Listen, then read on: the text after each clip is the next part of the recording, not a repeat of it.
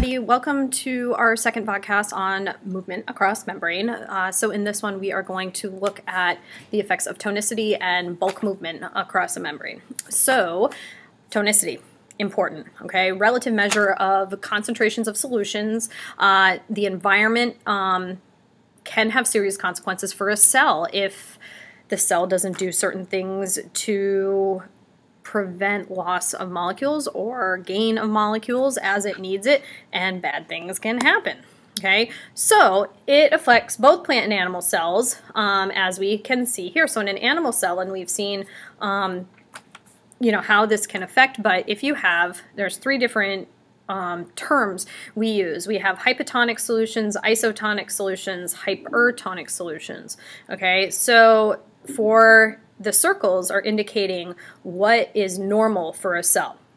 So in an animal cell, we like things to be isotonic, which means the concentrations um, outside the cell are equal to the concentrations inside the cell, and there is no net directional movement of water. So things are at equilibrium. That's isotonic.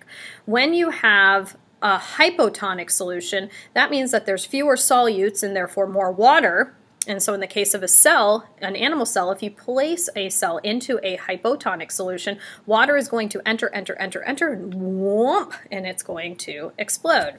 Um, and you can click the video that you guys see there um, in order to see this happening. And so check that link right there, and you can see this actually happening with cells. Um, and then a hypertonic solution is when the solution has greater amounts of solutes, therefore less water. So if there's greater water inside the cell, water's going to osmose out and the cell's going to go and shrivel up. Now for a plant cell, you know, it's a little bit different. We want a cell to be in a hypotonic solution where it's going to take in a lot of water and that cell is going to expand to the point of being very, very turgid, um, which means that there's a lot of pressure being pushed against the cell wall and the cell wall prevents a lysed cell. So it's pushing up against, if it's in an isotonic or a hypertonic solution, it's going to go like it's going to get all wobbly and it's not going to be able like a blade of grass wouldn't stand up straight or your celery in your fridge that's all limp and then in a hypertonic solution, we get plasmolyzed and it actually goes, which is what we saw with like the Elodea cells that you can see here. They've been plasmolyzed um, and most of the water is gone. There's no coming back from that.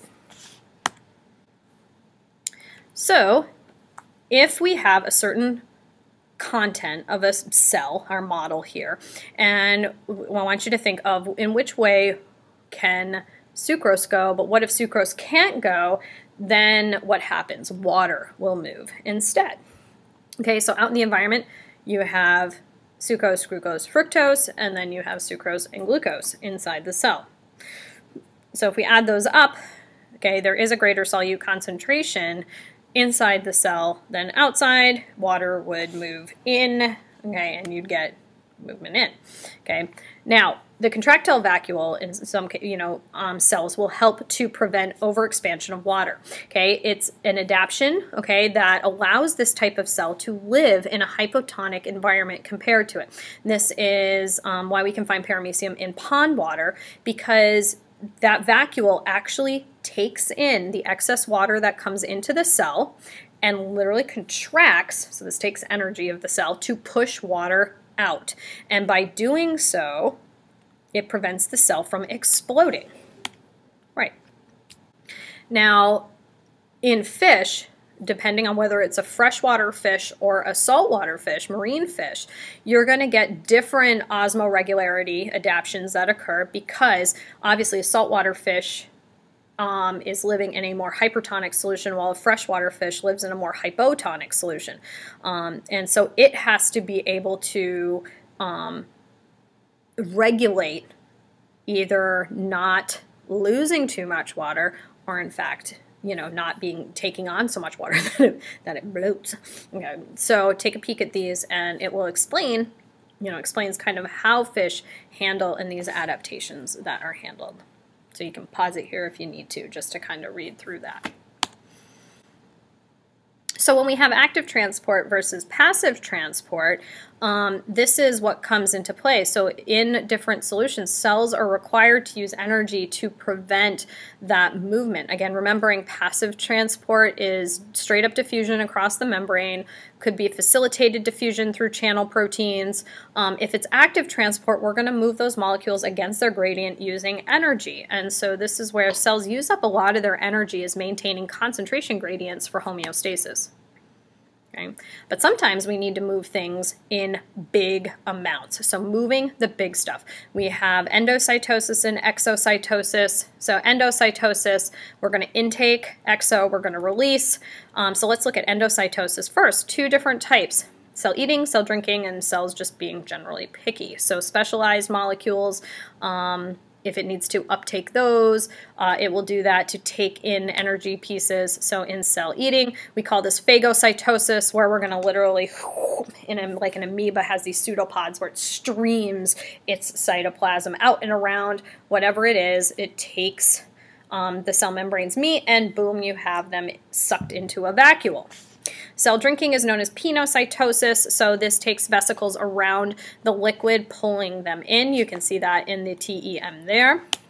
And if cells are being picky, it will actually coat the vesicle in a way so that it doesn't, um, so that it can pick very particularly what it wants to have. So if there's certain receptors that are there and how it actually um, you know, will coat the vesicle if it needs to, you know, yeah, I guess be picky with what it's doing.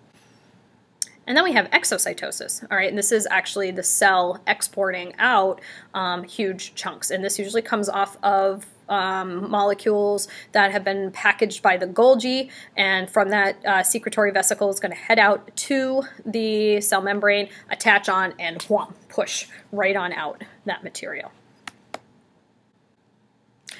So that's it for our movement across membrane. Um, if you have any questions regarding any of this stuff, make sure you jot them down in your notes, bring them to class so we can go over them. These are the main things you need to make sure that you can do uh, as we work through all of this, um, these particular things. So, you know, take a second to look through these and see if there's anything on there that you don't feel comfortable doing um, or understand so that during our disco we can go over it.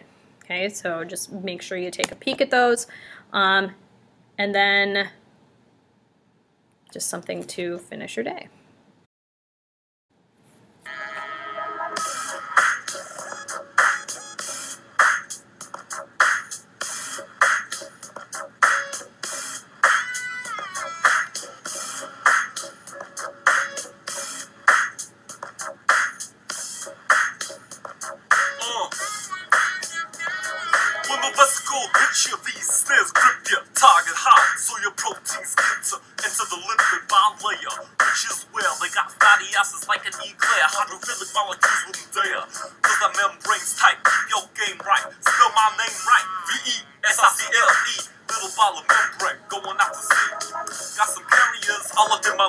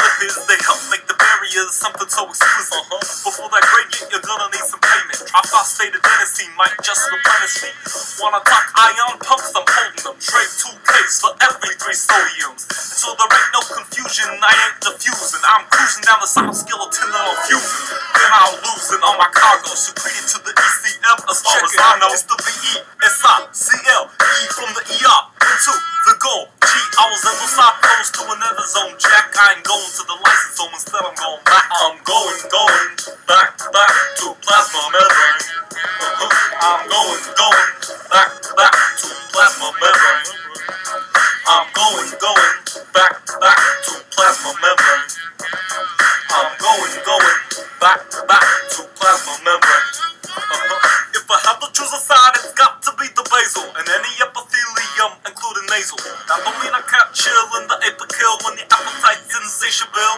vitamins numbs weight in the field, up with nutrients and glucose, salt and glucose. Important, important. Zoom in, I'm looming. Transport the business is booming. They got different proteins with all the right functions, and ain't nothing getting through them tight junctions. So pull your power bar out from your jansport. I'm the apical glucose active transport, but through the basal to the blood, the pressure's massive. Give me the glue, give me the glue.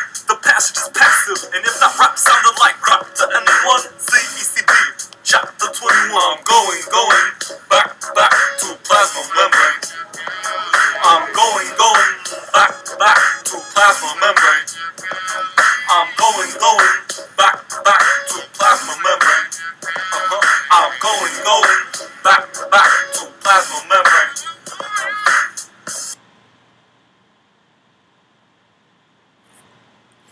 you guys in class.